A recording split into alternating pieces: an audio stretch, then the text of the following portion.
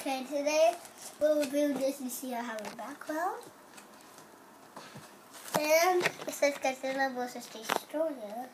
It says Godzilla right here. And the toys right here. It comes in a poster you can see. And the back of the poster shows Godzilla and says Godzilla. Have a little logo and whatever that is. Um, BW. Whatever. And there's a nice picture. The toy, so it's open. So come, the tail comes like this. See?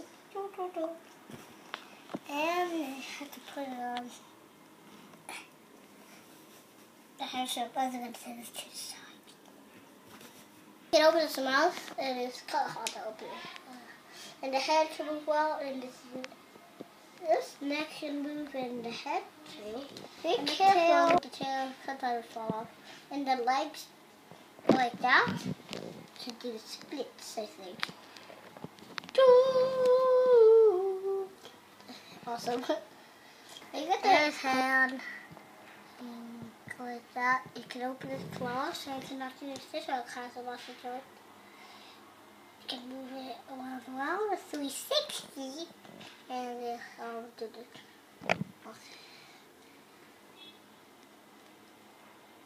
So, does have a waist movement. You have to muscle back.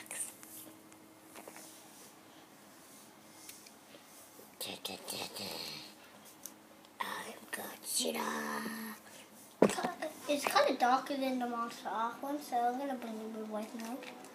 And the spikes are a little bit different. See? It's a big spike here, and it's this one small.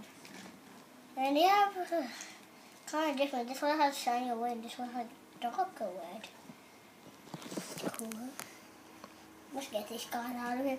And I just, I just don't know how, this is my, I just think this is my first Godzilla made out of rubber, so here's the other rubber ones I have.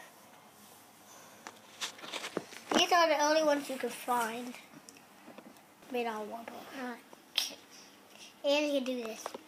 Make his legs go back. This is 1964, I mean. This is from the from 1985 is this one. So, I'm gonna go get more considers to compare Spy Godzilla. He kind of has a by the way than this one. So here's all the Spy Godzillas. And this is, I'm gonna compare this one real quick. So this is the other one, which is MonsterArts, which is kind of different. This, this is a family right here because they don't have this. They both have the same kind of spikes, and they both have the same kind of skin, so they're family. It's nice. But to the side, get out of. Okay. So guys, and I'm gonna give a comparison now. This, this, uh, first this one.